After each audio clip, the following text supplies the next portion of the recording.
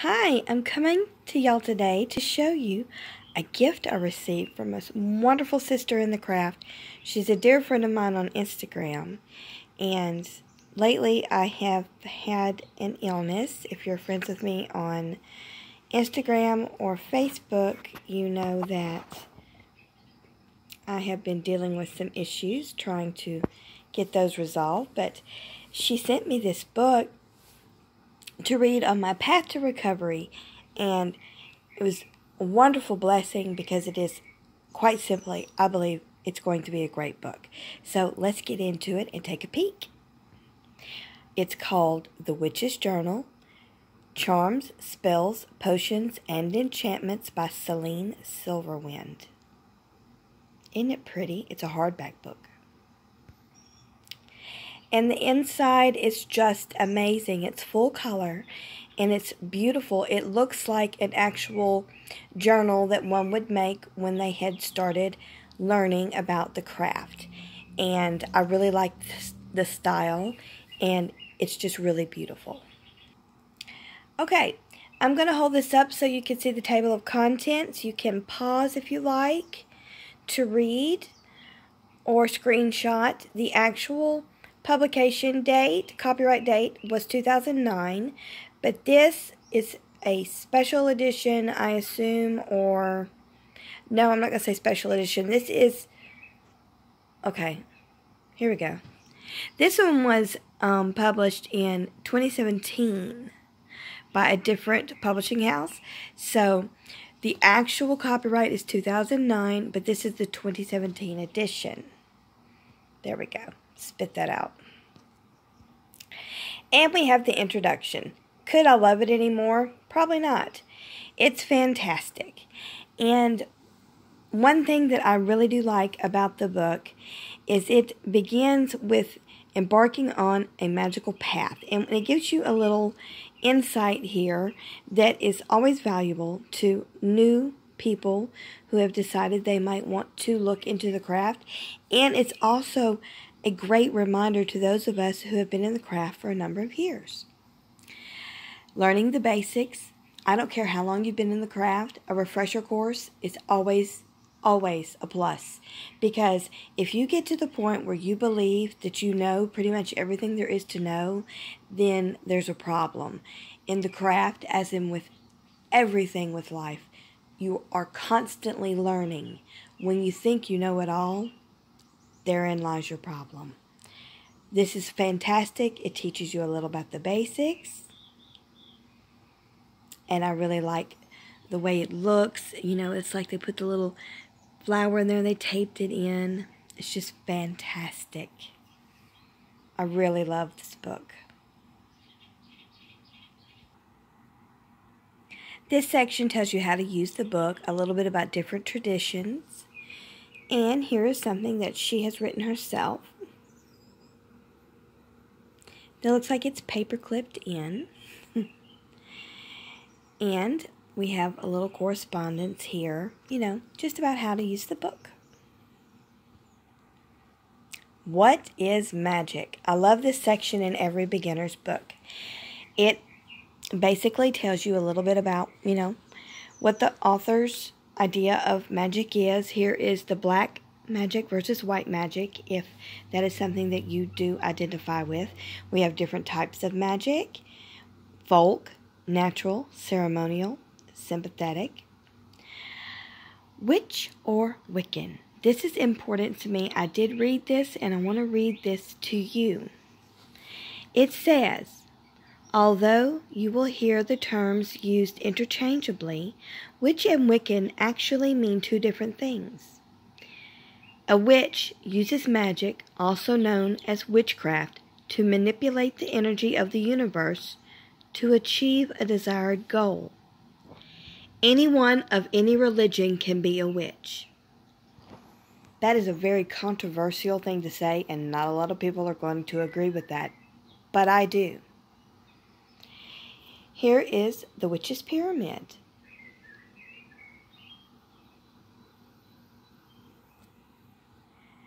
And now we have a section on ethics, the reed, the golden rule, the law of three. Then there's questions to ask before casting a spell. And I did like this little tiny note. It should have been bigger. Four rules for magic. Let me autofocus. Do not cast a spell on another person without their permission. Do not cast a spell to harm yourself or another person. Do not cast a spell in haste. Do not cast a spell in anger. Now then, not all of us agree with these particular four rules for magic, but we can all say that there has to be at least one or two of them that we do agree with. I like that she's giving a backstory, kind of like with the law of three, karma, and be mindful and be, you know, loving and caring to all involved. Magical correspondences.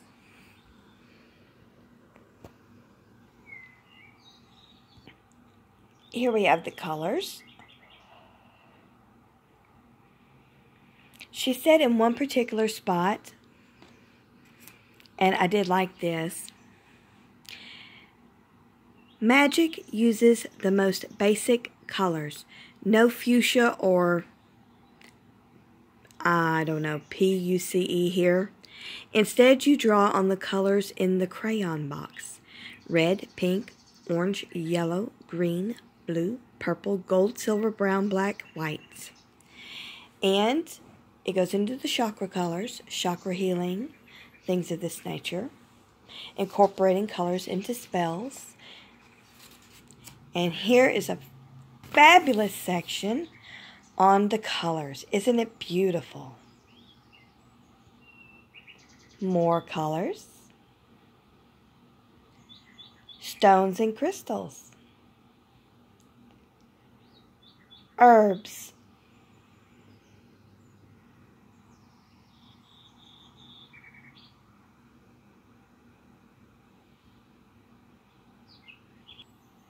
The magic of the heavens.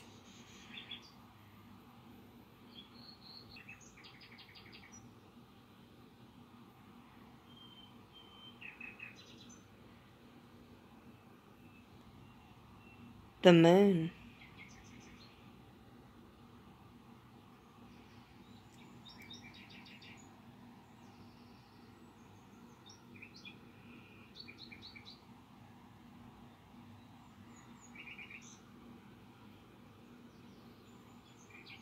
I just want you all to get a basic overview of what the little chapters look like. And I'm really enjoying the way it's set up. I mean, it's just fabulous. The correspondence in this book is invaluable. It is amazing how she has it all laid out very neatly, very nicely. When to avoid magic. Some people don't believe in the void, of course, or they don't really worry about it, or Mercury retrograde, but a lot of people do. Divine magic, which pantheon, choosing which pantheon to work with. That's funny. I don't see it saying anything to do with your DNA or what's, you know, I correct myself. Research your bloodline in this life. Find out how many cultures are mingled in your family tree. That means that you can go and look at what is actually in your family tree and choose from something there if you do resonate with it, or you can go and research other pantheons to see if those resonate with you, even ones that are not mixed in your bloodline. And I say this because I am, believe it or not, I have quite a bit of Cherokee blood in me. And um, quite a bit, I mean, quite a bit. My grandmother was full blood, so yes. So, um, but I don't resonate with Native American spirituality very much. I would love to be able to tap into that and to go with that, but I resonate more on my father's side with the Scottish and the Irish that he has. He's mostly Scottish and some Irish, but I resonate more with that particular side of my family. Also, I do work with, and I wish they would have had her, but Venus is okay. Um, I work with Aphrodite. She is my main number one gal. But this Venus is absolutely beautiful, the mother goddess. Oh, it's beautiful. This book is fabulous. It's just fabulous. Celtic deities. I can't wait to get into this one, as I've said. And the more that I show more of my library, my magical library, you will see I do have quite a bit of, not quite a bit, but I do have a few uh, very large um, books to do with Celtic, Celtic pantheons and Celtic deities and Celtic mythology.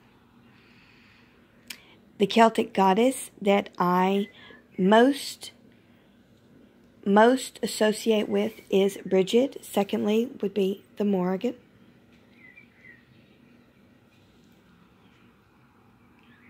It's beautiful. Here we have the Teutonic deities. And I'm sure someone will correct me if I did pronounce that wrong, and if I did, I do apologize.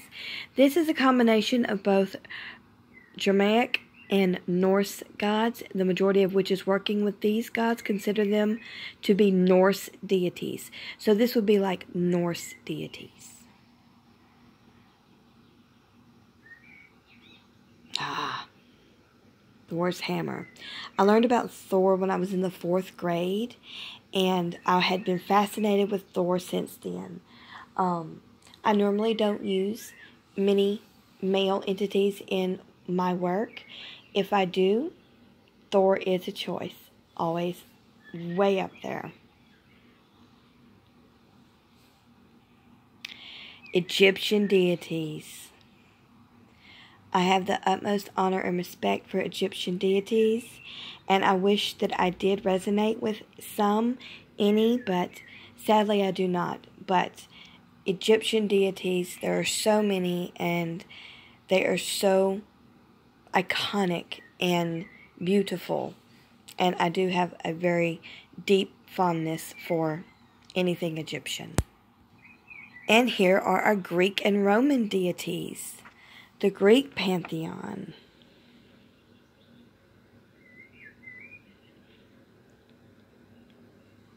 And the Roman pantheon.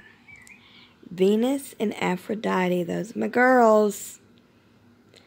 Aphrodite is my main woman.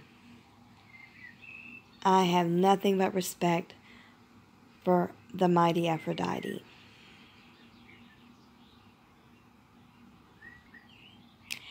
Chinese deities. Kuan Yin was a deity that I was working with at one time. I dreamed of her and I began to research her. I found a wonderful blog by a beautiful woman, but she doesn't do it anymore, about um, Kuan Yin and Green Tara um, and other goddesses along those lines. But her Kuan Yin section was absolutely amazing and quite beautiful and very well written. And I really resonated with Kuan Yin on a deep level but that time was quite short lived and it was always Aphrodite. Aphrodite has always been there, but I am going to enjoy reading up about the Chinese deities that she has listed. And here are African deities. I know nothing of African deities, and I will enjoy reading about the African deities. Here's your major deities. I'm not going. Legba. Papa Legba. I'm originally from an area where hoodoo is prevalent.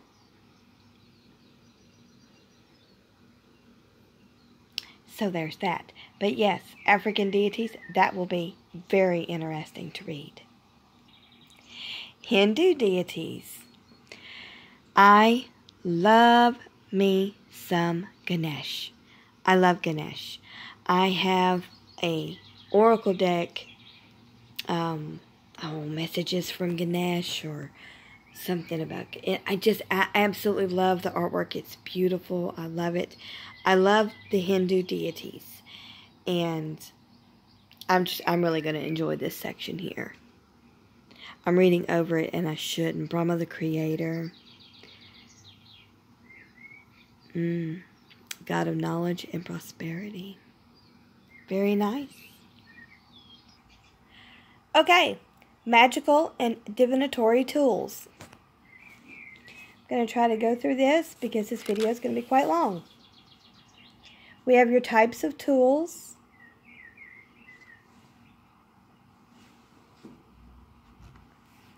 That's not to work. I'm trying to do this carefully.